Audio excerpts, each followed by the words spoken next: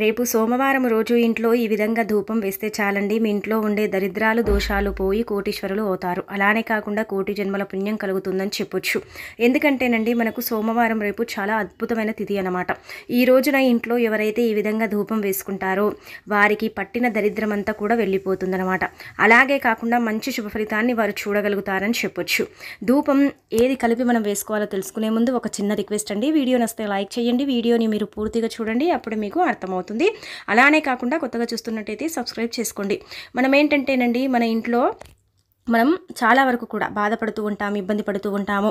ఇంటి పరంగా అంటే కలిసి రాక చాలా వరకు కూడా ఏంటంటే కొన్ని సమస్యలను ఎదుర్కొంటూ ఉంటాము. ఇంట్లో ఏదో చెడు బాధ కలుగుతుంది. చెడు సమస్య మనని ఏంటంటే ఇబ్బంది పెడుతుంది. గుర్తుపెట్టుకోండి ఇంట్లో మన ఇంట్లో చెడు ఉంటే మనకేంటంటే మనలో మనలే అంటే పిల్లలని ఎక్కువగా ఇబ్బంది పెట్టడం పిల్లలు ఎక్కువగా మనని అంటే ఏడిపించటం ఎక్కువగా జబ్బు పడిపోవటం అనారోగ్య సమస్యలు ఎదుర్కోవటం అలానే కాకుండా ఎప్పుడు చూసినా హాస్పిటల్ అంటే చుట్టే మనం తిరుగుతూ ఉంటామన్నమాట. ఇక నెలలో అంటే కనీసం ఒక మూడు సార్లైనా సరే హాస్పిటల్కి వెళ్ళాలి రెండు సార్లైనా సరే హాస్పిటల్కి వెళ్ళాల్సిన పరిస్థితి అనేది మనకు వస్తుందన్నమాట. ఎందుకంటే ఇంట్లో చెడు ఉంది కాబట్టి ఆ చెడు వల్ల ఏంటంటే మనకు అనారోగ్య సమస్యలు వస్తూ ఉంటాయి. ఎక్కువగా మన ఇంట్లో చెడు ఉండడం వల్ల మనకు చాలా తీరని బాధలు అనేవి కలుగుతూ ఉంటాయి. అవి మనం ఏంటంటే గమనించలేము గ్రహించలేము. కాబట్టి ఏంటంటేనండి గుర్తుపెట్టుకోండి ఈ విధంగా మీరు ఏంటంటే ధూపం వేసుకోండి. ఇలా వేసుకోవడం వల్ల మీ ఇంట్లో ఏ చెడు ఉన్నా సరేనండి అది వెళ్ళిపోతుంది. ఒకవేళ దరిద్రమే ఉందనుకోండి అది కూడా వెళ్ళిపోతుంది అనమాట అలాగే కాకుండా ఇంకొకటి ఏంటంటే కనుక ఏదైనా సరే దోషం ఉందనుకోండి దోషం వల్ల కూడా మనకు చాలా ఇబ్బందులను మనం ఎదుర్కోవాల్సి వస్తుంది. ఏదైనా దోషం ఉంటే ఏంటంటే చాలా వరకు కూడా ఆ దోషం మనని పట్టి పీడిస్తూ ఉందన్నమాట. ఏదైనా సరే మనం శాంతి చేయించుకోవటం లేదంటే ఏదైనా పరిహారం చేసుకోవటం ఏదైనా విధి విధానాన్ని పాటిస్తే ఆ దోషం అనేది వెళ్ళిపోతుంది. చాలామందికి కూడా అంత సమయం ఉండదు. అలానే కాకుండా కొన్ని విధి విధానాలను కొంతమంది పాటించరు. కానీ ఇంట్లో ఎప్పుడూ కూడా అంటే ఇలా సోమవారాలు తిథులు కానీ శుక్రవార తిథులు కానీ మనం ధూపం వేసుకుంటే ఇల్లు స్వర్గంతో సమానమవుతుంది ఇంట్లో ఉండే దృశ్యశక్తులన్నీ కూడా పోవటానికి అవకాశం ఉంటుందన్నమాట. పిల్లలకు కూడా బాగుంటుంది మనకు కూడా బాగుంటుంది. మన పిల్లలు బాగుంటేనే కదండి మనం ఎంత సంపాదించినా మనకు అది కనిపిస్తుంది. ఒకవేళ పిల్లలే బాగాలేరు అనుకోండి మనం సంపాదించి ఏం చేస్తాం? ముందు ఏంటంటే ఆరోగ్యాన్ని మనం కాపాడుకోవాలి. సంపాదన పక్కన పెడితే మనం ఆరోగ్యాన్ని కాపాడుకోవాలి. మన ఇల్లు ఒక పద్ధతిగా ఉండేలాగా చూసుకోవాలి. ఇంట్లోకి ఎలాంటి చెడు రాకుండా మనం గమనిస్తూ ఉండాలి గ్రహిస్తూ ఉండాలి. ఇవన్నీ కూడా మనకి ఎలా తెలుస్తాయంటే మన ఇంట్లో చెడు ఉంటే విపరీతంగా గొడవలు జరుగుతూ ఉంటాయి. విపరీతంగా మనం ఏడుస్తూనే ఉంటామన్నమాట. మనం ముందు చెప్పాం కదా ఓకే మనం హాస్పిటల్స్కి వెళ్ళాల్సి వస్తుంది. ఇంట్లో మాడిపోవటం జరుగుతుంది. ఇంట్లో చెడు ఎక్కువగా దరిద్రం ఎక్కువగా ఉంటే మనం ఎంత చేసినా కానీ మనకు కలిసి రాదండి. ఏదో చీర చీదరగా ఉండటం ఏదో మనం ఊకే అరి అరవటం కోపం ఎక్కువగా రావటం ఇలాంటి సిమ్టమ్స్ అన్నీ కూడా ఏంటంటే ఇంట్లో చెడు ఉందని తెలుపుతుందని మనకు పురాణ గ్రంథం చెబుతుందన్నమాట.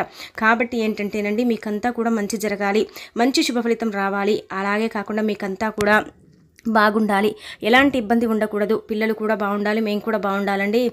అలా బాగుంటేనే కదా మేము అంటే కడుపు నిండా తినగలుగుతాము కంటి నిండా నిద్రపోగలుగుతాము. మా ఆరోగ్యాలు బాగాలేకుండే మేము ఏం చేయగలుగుతామని చాలామంది బాధపడతారు కదా. అలాంటి వాళ్ళకి ఈ ధూపం అనేది చాలా బాగా ఉపయోగపడుతుంది. ఒకటి గుర్తుపెట్టుకోండి. ధూపం వేయడం వల్ల ఇంట్లో ఉండే దృష్టశక్తులు కానీ చెడు దిష్టి కానీ కను దిష్టి కూడా ఉంటూ ఉంటుంది కదా. దాని నుంచి కూడా మనం బయటపడగలుగుతాము.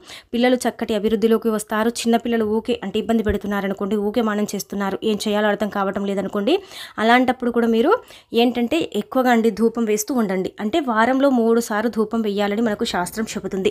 ధూపం ఏంటంటే కనుక మనకు చాలా వరకు కూడా అండి చెడు శక్తిని తిప్పి కొడుతుందనమాట కొంతమంది పిల్లలు ఏంటంటే ఎంత తిన్నా అలాగే ఉంటారండి. వారు లావుకారు. అలాగే కాకుండా వారి ఏడుపు అనేది ఆగదు. ఎక్కువగా ఏడిపిస్తూ మానం చేస్తూ జిద్దు చేస్తూ ఉంటారు కదా. అలాంటి పిల్లలకు కూడా ఏంటంటే ఇంట్లో ధూపం వేసేటప్పుడే వారికి కూడా ధూపం వేయటం వల్ల ఆ పొగని వారికి చూపించడం వల్ల వారిలో ఏదైనా చెడు ఉంటే కూడా వెళ్ళిపోవటానికి అవకాశం ఉంటుంది అని మనకు పండితులు చెబుతున్నారన్నమాట. ధూపం అనేది చాలా వరకు కూడండి అనారోగ్య సమస్యల్ని దూరం చేస్తుంది ఇంట్లో ఉండే దరిద్రాలను కూడా పోగొడుతుందనమాట కాబట్టి ఈ విధంగా ధూపం అనేది వెయ్యండి. ధూపం చాలా రకాలుగా ఉపయోగపడుతుంది. అలాగే కాకుండా చాలా విధాలుగా కూడా ధూపం మనకు అంటే హెల్ప్ అనేది చేస్తుందని చెప్పొచ్చు. ఒక రకంగా చెప్పుకోవాలంటే రూపాయి కూడా ఖర్చు పెట్టని పరిహారంగా శాస్త్రం చెబుతుందనమాట ధూపం నార్మల్గా ఏంటంటే దీపం పెట్టిన తర్వాత ప్రతి శుక్రవారం ధూపం వెయ్య వెయ్యకపోతే అది అనార్థం. అంటే ఆ పూజ ఫలించదు అని శాస్త్రం చెబుతుంది. అలాగే సోమవారం దీపం పెట్టుకున్న తర్వాత ధూపం వేసుకుంటే చాలా మంచిదనమాట ధూపం మనం సాంబ్రాణితో వేస్తే వేస్తాము అలానే కాకుండా గుగ్గిలంతో ధూపం వేసుకుంటాము కొన్ని పొడులను కలిపి కూడా ధూపం చాలామంది వేస్తారు. కానీ మన ఇంట్లో ఎక్కువగా ఇబ్బంది బాధ ఉన్నప్పుడు ఇలా ధూపం వేసుకోవాలి. మనం ఏంటంటే నిప్పులను రాజేసిన తర్వాత అగ్గిని రాజేసిన తర్వాత మనం ఏంటంటే ఐదు లవంగాలను తీసుకోవాలండి. సాంబ్రాణి వేసినప్పటికీ కూడా ఈ వస్తువులని అందులో వేయాలన్నమాట. అలా వేయడం వల్ల మంచి శుభ ఫలితం వస్తుంది. ఇంట్లో ఏదైనా ఇబ్బంది ఉంటే వెళ్ళిపోతుంది అనమాట ఐదు లవంగాలు పదకొండు మిరియాలు లేదంటే తొమ్మిది మిరియాలు. అలాగే కాకుండా ఇంకొకటి ఏంటంటే కనుక ఇలా తొమ్మిది మిరియాలు కానీ పదకొండు మిరియాలను కానీ లెక్క పెట్టేసి తీసుకోండి. ఐదు లవంగాలను తీసుకోండి. నిప్పులు అంటే అగ్గిని నిప్పులను చేసిన తర్వాత అందులో ఐదు లవంగాలు సాంబ్రాణి కొంచెం కర్పూరము ఆ తర్వాత మిరియాలను వేసేసి చక్కగా వెలిగించి ఇంట్లో నలుమూలలు ధూపం చూయించండి. మన పిల్లలకు కూడా ధూపం వేయండి. మీరు వేసుకోండి.